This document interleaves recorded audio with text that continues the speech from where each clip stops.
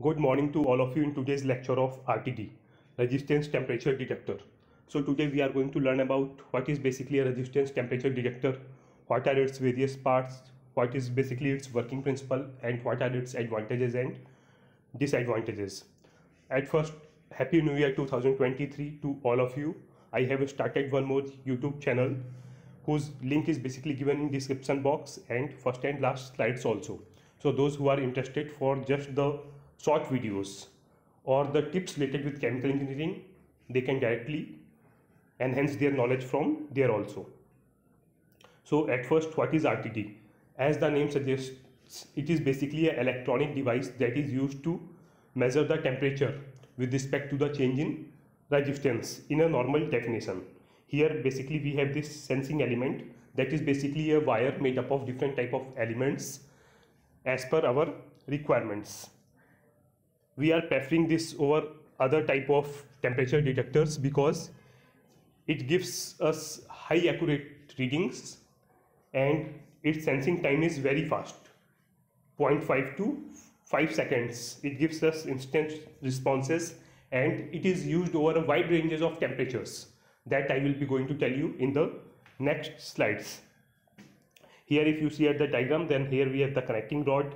Here we are have these fittings then we have this protecting tube. If this is our pipeline then it can be easily installed here. The main thing you have to take care is that that the bottom sensing element it must be tipped inside the fluid whose temperature you are going to basically measure.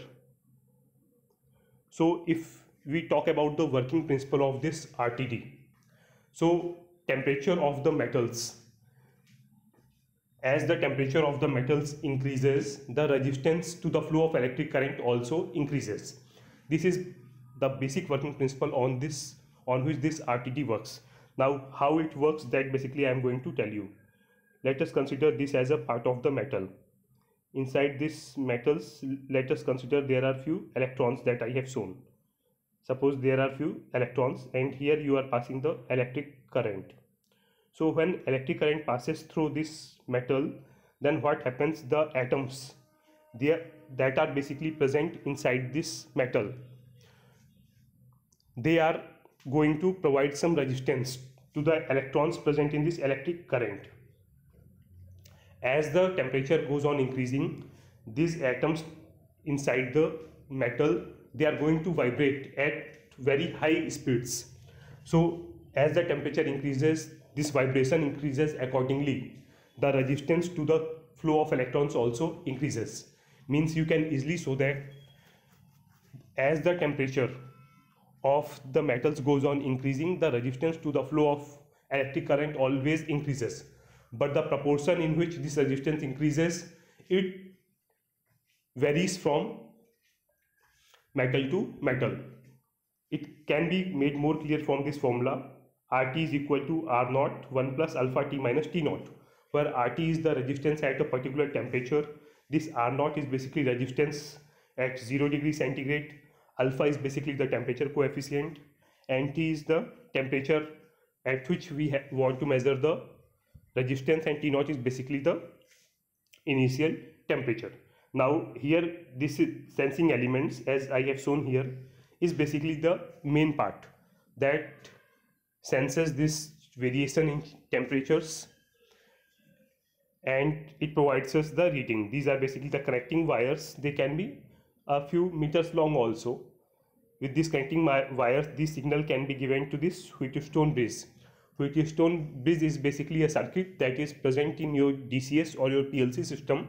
So according to this variation in this resistance sense sensing done by this sensing element, this Wheatstone bridge gives output as a electronic volting.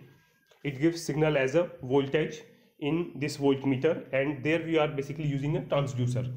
This transducer basically changes this change in voltage signal to the change in current of range from 4 to 20 milliampere and we can easily measure this temperature the resistance changes to the changing temperature to our desired value of electronic value of current from 4 to 20 milliampere. So this is basically the whole flow.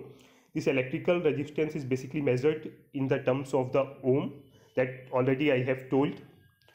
And moving to next. If we talk about the different types of RTD then this RTD basically consists up of sensing element as I have already told. These sensing elements are basically made up of platinum copper nickel and tungsten.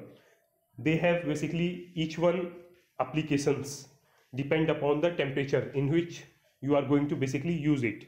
Like platinum is basically used in the temperature range of minus 260 to 110 degrees centigrade copper 0 to 180 degrees centigrade nickel minus 220 to 300 degrees centigrade and tungsten is minus 200 to 1000 degree centigrade. This selection fully depends upon the temperature where you are going to use it.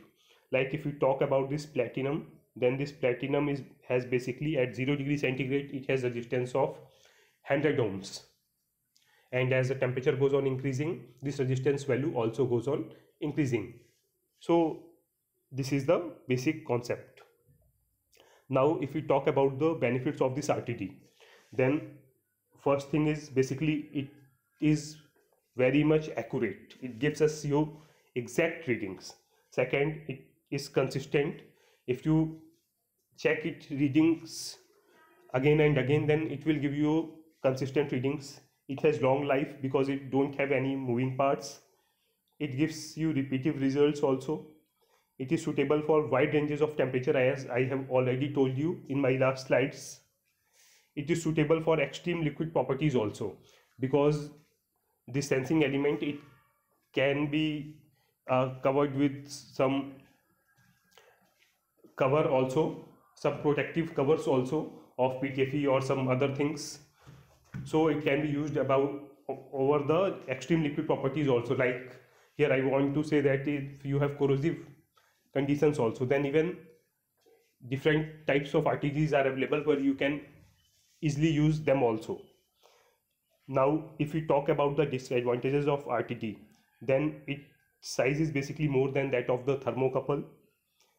Power supply is required here compulsory as the variation in the resistance provided to the electric current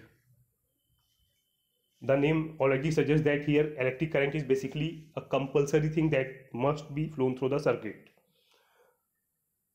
An extra apparatus is needed to require the output.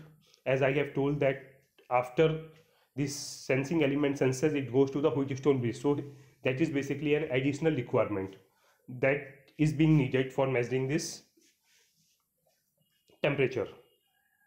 And it is more expensive that that of a thermocouple so hope this working of this RTD is basically made clear to you. So in the next lecture I will be back with a new topic. Till then goodbye and have a happy new year 2023